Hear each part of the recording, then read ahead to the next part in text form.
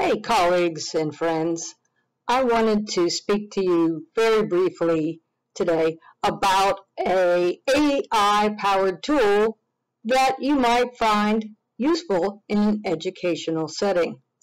It's called NoteGPT, and as you can see in the address bar, it's just at notegpt.io. I am signed in with my uh, Google powered ACC email account and I'm using it free of charge, so that's great. Uh, I will demonstrate what it can do um, using an assignment that I have in my Linux administration class. But you don't have to know anything about Linux administration to follow along.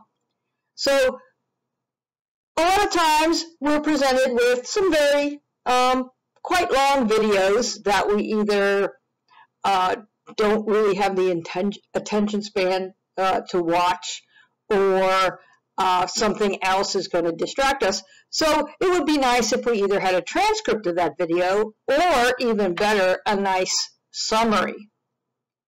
So artificial intelligence to the rescue. Um, I have created an assignment for my students where I'm actually telling them to use this tool to create a video summary. So I offered up the video that I want them to summarize. Yeah, we don't want to actually listen to it. We want to copy the video URL. Um, and we are going to go over to NoteGPT and merely put that link in. And click the Summarize Now. Do I want to continue? I'm going to say, yes, I do.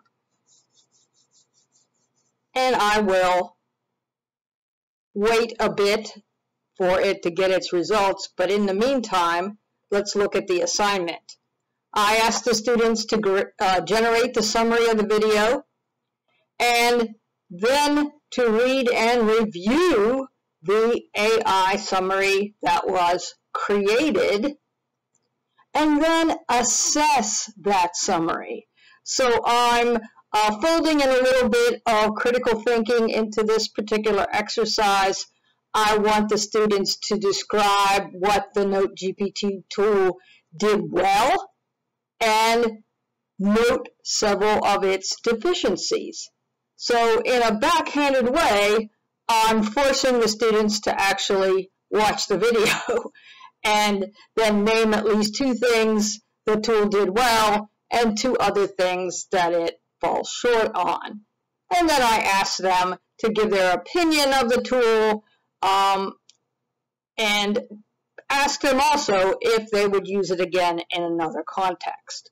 So let's go back over and see what we have created and we can see that there is some AI notes and a summary.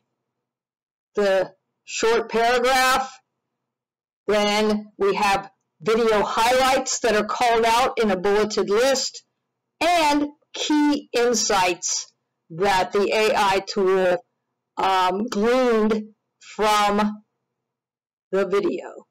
So that is, in a nutshell, uh, Note GPT. We can also convert the video to text and likely do some more complex things if we had an upgraded account. So there you have it uh, NoteGPT, you might want to use it sometime. Have fun.